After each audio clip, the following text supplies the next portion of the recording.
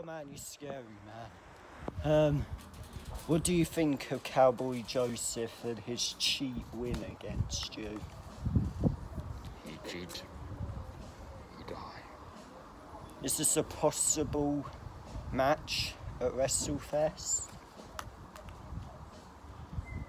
Yes. Okay, we'll get you a contract. Hunger.